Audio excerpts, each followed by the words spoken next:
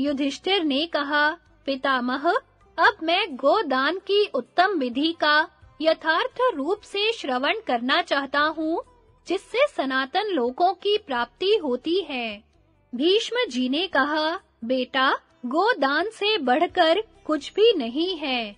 यदि न्याय पूर्वक प्राप्त हुई गौ का दान किया जाए तो वह समस्त कुल का तत्काल उद्धार कर देती है। इसलिए तुम आदि काल से प्रचलित हुई गोदान की विधि का श्रवण करो। प्राचीन काल की बात है, जब महाराज मानधाता के पास बहुत सी गौएँ दान के लिए लाई गई तो उन्होंने कैसी गौ दान करें? इस संदेह में पड़कर बृहस्पति जी से तुम्हारी ही तरह प्रश्न किया। गोदान करने वाले मनुष्य को चाहिए कि वह व्रत का पालन करे। और ब्राह्मण को बुलाकर उसका अच्छी तरह सत्कार करके कहे कि मैं कल प्रातः काल आपको गौ दान करूँगा। तत्पश्चात वह गौ दान के लिए लाल रंग की गौ मंगावे और समंगे बहुले इस प्रकार कहकर गौ को संबोधित करे। फिर गौ के बीच में जाकर निम्नांकित श्रुति का उच्चारण करे।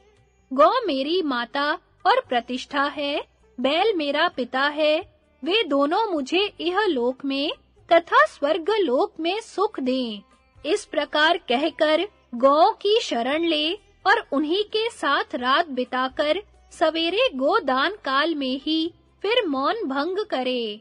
इस प्रकार गौ के साथ एक रात रहकर उनके समान व्रत का पालन करते हुए उन्हीं के साथ एकात्म भाव को प्राप्त होने से मनुष्य तत्काल संपूर्ण पापों से छूट जाता है। गोदान करने के पश्चात इस प्रकार प्रार्थना करें, गौएँ उत्साह संपन्न, बल और बुद्धि से युक्त अमृतत्व प्रदान करने वाले यज्ञ संबंधी भविष्य की क्षेत्र भूता जगत की प्रतिष्ठा, पृथ्वी को प्रकट करने वाली, संसार के अनादि प्रवाह को प्रवृत्त करने वाली और प्रजापति की पुत्री है। सूर्य और चंद्रमा के अंश से प्रकट हुई वे गौएँ हमारे पापों का नाश करें। हमें उत्तम लोक की प्राप्ति में सहायता दें। माता की भांति शरण प्रदान करें और जिन इच्छाओं को हमने अपने मुँह से कभी नहीं प्रकट किया है, वे भी उनकी कृपा से पूर्ण हो जाएँ। जो लोग तुम्हारी आराधना में लगे रहते हैं, उनके कर्मों से प्रसन्न होकर तुम उन्हें क्षय आदि रोगों से छुटकारा दिलाती हो और देह बंधन से भी मुक्त कर देती हो। जो मनुष्य तुम्हारी सेवा किया करते हैं, उनके कल्याण के लिए तुम सरस्वती नदी की भांति सदा प्रयत्नशील रहती हो। गौ माताओं, हमारे ऊपर प्रसन्न हो जाओ और हमें समस्त पुण्यों के द्वारा प्राप्त होने वाली अभीष्ट गति प्रदान करो। इसके बाद दाता निम्नांकित आधे श्लोक का उच्चारण करे। या वै यूयम सो अहम मध्ये भावो युष्मान दत्वा चाहम आत्म प्रदाता। गौ, तुम्हारा जो स्वरूप है, वही मेरा भी है। तुम में और हम में कोई अंतर नहीं है। अतः आज तुम्हें दान में देकर हमने अपने आप को ही दान किया है। दाता के ऐसा कहने पर दान लेने वाला ब्राह्मण शेष आधे श्लोक का उच्चारण करे। मनश्च्युता मन एवोपन्नाः संधक्षुध्वम सौम्य रूपो ग्रूपाः गौ, तुम शांत और प्रचंड रूप धारण करने वाली हो। अब तुम्हारे ऊपर दाता का ममत्व नहीं रहा। अब तुम मेरे अधिकार में आ गई हो। अतः अभीष्ट भोग प्रदान करके तुम मुझे और दाता को भी प्रसन्न करो। जो गौ के निष्क्रिय रूप में उसका मूल्य, वस्त्र अथवा सुवर्ण दान करता है, उसको भी गोदाता ही कहना चाहिए। इस रूप में दी जाने वाली गौओं का नाम क्रमशः उधरवास्या, भवितव्या और वैष्णवी है। संकल्प के समय इनके इन्हीं नामों का उच्चारण करना चाहिए। इनके दान का फल भी क्रमशः इस प्रकार समझना चाहिए। गौ का मूल्य देने वाला छत्तीस हज़ार वर्षों तक, गौ की जगह वस्त्र दान करने वाला आठ हज़ार वर्षों तक, तथा गौ के स्थान में सुवर्ण देने वाला बीस हज़ार वर्षों तक दिव्य लोक में सुख भोगता है। इस तरह गौ के निष्क्रिय दान का क्रमशः फल बताया गया। इसे ध्यान में रखना चाहिए।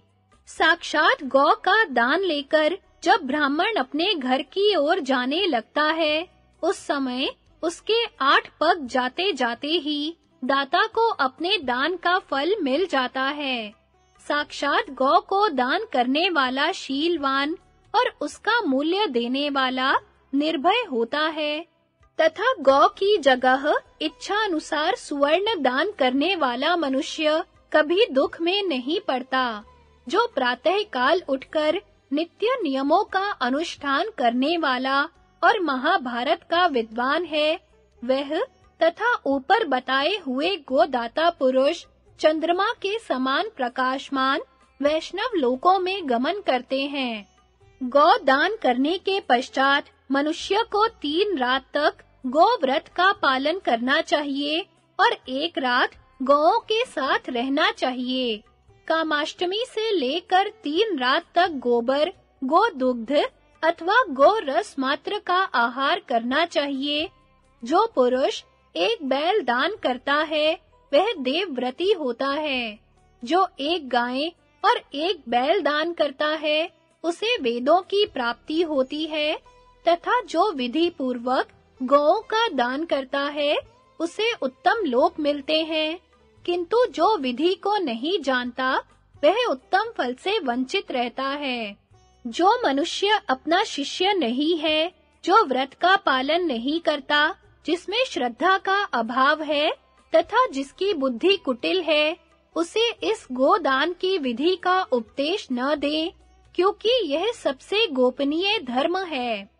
इसका यत्र तत्र सर्वत्र प्रचार नहीं करना चाहिए।